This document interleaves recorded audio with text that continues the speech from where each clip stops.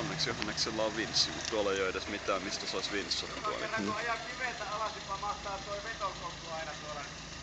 Kaksi kertaa aina helvetin monen rumauta, se jäänyt roikkumaan sitä vetokoukkuun. Joo, mäkin ihmettelin, miksi sillä on vetokoukku Arvaa vielä. näkeekö rälläkkää tänään illalla vielä. Tuo eka asia, mitä noille tehdään, niin otetaan vetokoukku